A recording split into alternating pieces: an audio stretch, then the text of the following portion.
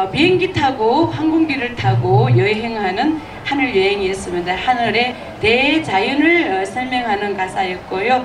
앞으로 많이 좀 기억해 주시고 어, 우리 오늘 어, 여기 오신 분들께 어, 제가 아, 다 드릴 수는 없고요. 어, 여기 참 배고프신 분들 어, 떡도 하나씩 드리려고 준비를 했는데 아마도 다 드리지는 못할 겁니다.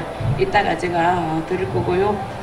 음, 오늘 많은 박수 좀 부탁드리고 어, 저 우리 가수분들이 지금 보통 분들이 오신 게 아닙니다. 여기 사진을 보면 아시겠지만은 아주 대단한 분들이 오늘 부천역에 있어 어, 선을 보이려고 어, 석타 대행진을 오늘 할 겁니다. 저는 단장 김민경이었습니다. 많은 성원 부탁드립니다.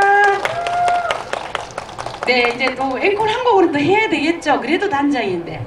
그쵸? 예, 박수 한 번 더 주세요, 그러면. 예, 감사합니다. 어, 곡은요, 인생. 내일도 모르는 우리는 인생이 아싸 정말 별것 아니더라 별것 아니야 주세요